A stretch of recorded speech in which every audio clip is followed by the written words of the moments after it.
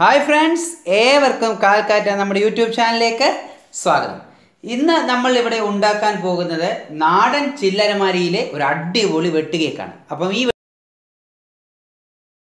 വെട്ടുകേക്ക് ഉണ്ടാക്കാനുള്ള ഇൻഗ്രീഡിയൻസും അതിന്റെ പ്രിപ്പറേഷനും എങ്ങനെയാണ് നമുക്ക് നോക്കാം. മൈദ രണ്ട് കപ്പ് രണ്ട് കപ്പ് എന്ന് വെച്ചാൽ നാനൂറ് ഗ്രാം ആണ്. നമ്മുടെ ഈ കപ്പ് കപ്പിന്റെ അളവിൽ നാനൂറ് ഗ്രാം എടുത്താണ് ഞാൻ വെച്ചിരിക്കുന്നത്. റവ രണ്ട് ടേബിൾ സ്പൂൺ പഞ്ചസാര നൂറ് ഗ്രാം.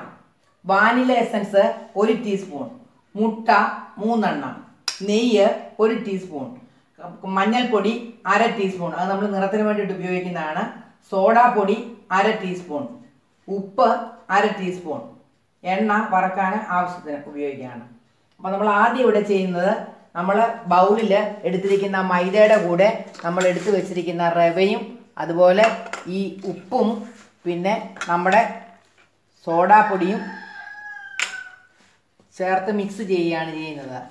അത് നന്നായിട്ട് മിക്സ് ചെയ്ത് കഴിഞ്ഞ ശേഷം നമ്മൾ എടുത്തു വെച്ചിരിക്കുന്ന നെയ്യും കൂടെ അതിനകത്തോട്ട് ചേർക്കും. ചേർത്ത് അത് ഒന്ന് എല്ലാം കൂടി ഒന്ന് നന്നായിട്ട് മിക്സ് ചെയ്ത് വെക്കുകയാണ്. റവ ചേർക്കുന്ന ക്രിസ്പിന് വേണ്ടിയിട്ടാണ് നമ്മൾ ഇതിനകത്ത് റവ ചേർക്കുന്നത്. ഇനി ഞാനിവിടെ ചെയ്യാൻ പോകുന്നത് ഈ എടുത്തു വെച്ചിരിക്കുന്ന പഞ്ചസാര ആദ്യം ഒന്ന് മിക്സിയിൽ നന്നായിട്ട് പൗഡർ പോലെ ഒന്ന് പൊടിക്കും. പൊടിച്ച ശേഷം നമ്മൾ എടുത്തു വെച്ചിരിക്കുന്ന മുട്ട ആ പഞ്ചസാരക്കകത്തോട്ട് പൊട്ടിച്ചൊഴിച്ച് മുട്ടയും അതിന്റെ കൂടെ തന്നെ ആ മഞ്ഞൾപ്പൊടിയും വാനില എസൻസും കൂടെ ചേർത്ത് മിക്സിയിൽ നന്നായിട്ടൊന്ന് അടിച്ചുകൊണ്ട് വരും.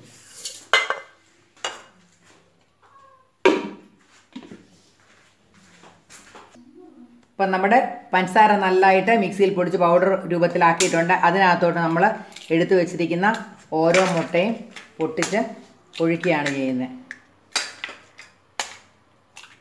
ഒഴിച്ച ശേഷം നമ്മൾ എടുത്തു വെച്ചിരിക്കുന്ന നിറത്തിന് വേണ്ടിയിട്ടാണ് മഞ്ഞൾപ്പൊടി ചേർക്കുന്നത്. അല്ലാതെ ആർട്ടിഫിഷ്യൽ കളറൊന്നും ഉപയോഗിക്കുന്നില്ല. വാനില എസൻസും കൂടെ ചേർത്ത് ഇതിനെ നന്നായിട്ട് മിക്സിയിലൊന്ന് അടിച്ചുകൊണ്ട് വരിക. ഇനി നമ്മൾ ഇവിടെ എടുത്തു വെച്ചിരിക്കുന്ന ഈ പൊടിയിലെ ഒരു പകുതി പൊടി എടുത്തിട്ട് അടിച്ചുകൊണ്ട് വന്ന ആ പിന്നെ പഞ്ചസാരയും മുട്ടയെല്ലാം കൂടെയുള്ള കുറേശ്ശെ ഒഴിച്ചൊഴിച്ചൊന്ന് ഇതിനെ നമ്മൾ ഒരു ഗോതമ്പ് ചപ്പാത്തിയുടെ പരുവത്തിൽ നിന്നും അല്പം കൂടി കട്ടിയിലാണ് ഇതിനെ നമ്മൾ കുഴയ്ക്കാനായിട്ട് പോകുന്നത്. ഇനി ഇതിലേക്ക് കുറേശ്ശെ ആ പൊടിയും കൂടെ ചേർത്ത് ചേർത്ത് വേണം കുഴയ്ക്കാൻ. ഇപ്പം നമ്മുടെ മാവ് നന്നായിട്ട് ഞാൻ കുഴച്ചിട്ടുണ്ട്. ഒരു പത്ത് മിനിറ്റ് നേരം നല്ല മയ വരാനായിട്ട് നമ്മൾ കുഴച്ച് അതിനെ നമ്മൾ റെഡിയായിട്ട് വെക്കണം. പത്ത് മിനിറ്റ് നന്നായിട്ട് കുഴച്ചത് നമ്മൾ ചപ്പാത്തി മാവിന്റെ പരുവത്തിൽ നിന്ന് സ്വല്പം കൂടെ കട്ടിയിലാണ് കുഴയ്ക്കുന്നത്. എന്നിട്ട് ഇതിനെ നമ്മൾ ഒരു മൂന്ന് മണിക്കൂർ ഇതിനെ നമ്മൾ അടച്ചൊന്ന് വെക്കുക. ഇത് ഫെർമെന്റേഷന് വേണ്ടിയിട്ട്. അത് കഴിഞ്ഞിട്ട് നമ്മൾ എടുത്താണ് ഇത് ഉണ്ടാക്കുന്നത്. ഇനി ഞാൻ ഇതിനെ ഒരു മൂന്ന് മണിക്കൂർ ഇതിനെ അടച്ചു വെക്കുകയാണ്. രണ്ട് മണിക്കൂറായി മാവ് നന്നായിട്ട് പൊങ്ങിയിട്ടുണ്ട്. ഇനി നമ്മൾ ഇതിനെ വെട്ടുകേപ്പിന്റെ കേക്കിന്റെ ഷേപ്പിൽ മുറിക്കാൻ പോവാണ്. ഇനി നമ്മളിതിനെ ഓരോ കഷ്ണങ്ങളായിട്ട് മുറിച്ച് മാറ്റിയിട്ട് വീണ്ടും അതിനെ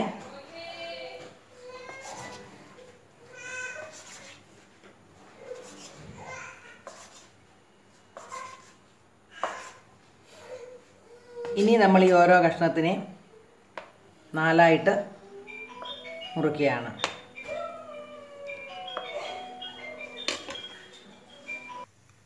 അപ്പം നമ്മൾ ഈ ഓരോ കഷ്ണത്തിനെയും ഇടയ്ക്ക് വെച്ചൊരു പീസാക്കിയ ശേഷം ആ ഓരോ പീസും വീണ്ടും ഇടയ്ക്ക് വെച്ച് ഒന്നുകൂടെ മുറിക്കും അങ്ങനെ രണ്ടായിട്ട് വെട്ടിയാണ് നമ്മൾ ഈ വെട്ടുകേക്ക് ഉണ്ടാക്കുന്നത്. പല ഷേപ്പിൽ ഉണ്ടാക്കാം. നാലായിട്ട് പൂ പോലെ ഉണ്ടാക്കാം.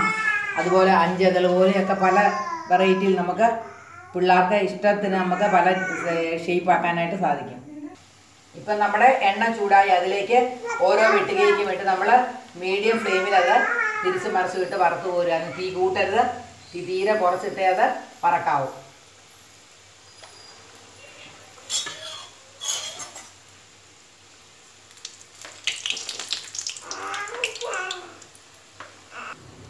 ഇപ്പം നമ്മുടെ പൂ പോലത്തെ വെട്ടുകേക്ക് റെഡി ആയിട്ടുണ്ട്.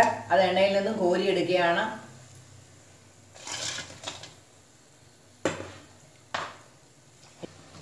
ഇപ്പം നമ്മുടെ അടുത്ത വെട്ടിലേക്ക് റെഡി ആയിട്ടുണ്ട്. ചെറുതീയിൽ വേണം അത് മൂപ്പിക്കാൻ.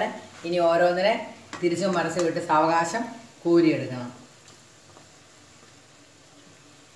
നമ്മുടെ അടിപൊളി ചായക്കട ടൈപ്പിലെ അടിപൊളി വെട്ടിക്കൊക്കെ ഇവിടെ റെഡി ആയിട്ടുണ്ട്. നല്ല ടേസ്റ്റിയാണ് കുഞ്ഞുങ്ങൾക്കൊക്കെ ഇത് വളരെയേറെ ഇഷ്ടപ്പെടും.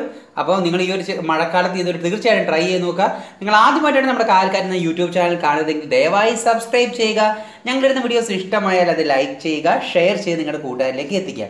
തൊട്ടടുത്ത് കാണുന്ന ബെല്ലൈക്കൺ കൂടി ഒന്ന് ഇനേബിൾ ചെയ്യുക. ബെല്ലൈക്കൺ ഇനേബിൾ ചെയ്യുമ്പോൾ ദയവായി ഓൾ എന്ന് പറഞ്ഞ് ഇനേബിൾ ചെയ്ത് കഴിഞ്ഞാൽ ഞങ്ങളിടുന്ന എല്ലാ പുതിയ വീഡിയോസും നിങ്ങൾക്ക് നോട്ടിഫിക്കേഷൻ ലഭിക്കും. അപ്പം അടുത്തൊരു ദിവസം പുതിയൊരു വീഡിയോയുമായി നമുക്ക് വീണ്ടും കാണാം. അതുവരെ എല്ലാവർക്കും ബായ്